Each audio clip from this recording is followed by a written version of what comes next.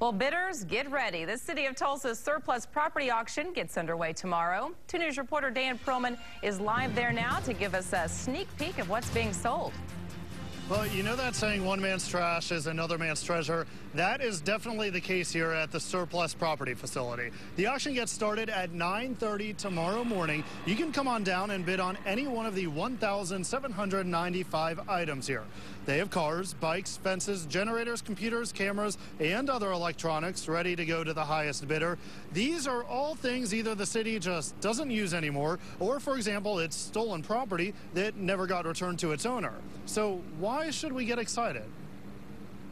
Everybody loves an auction. It's the excitement of an auction, and we have just a little bit of everything.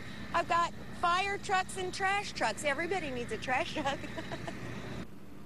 You know, I really can't think of a better backup car to have around myself. Uh, if you want to come on out, though, and see what else is for sale aside from just the trash trucks, you can do so today until 4 o'clock. All of the money raised here will go to the city's general fund. The goal is to raise half a million dollars. Live in North Tulsa, Dan Perlman, 2 News, works for you. Dan, I think you look good driving that truck.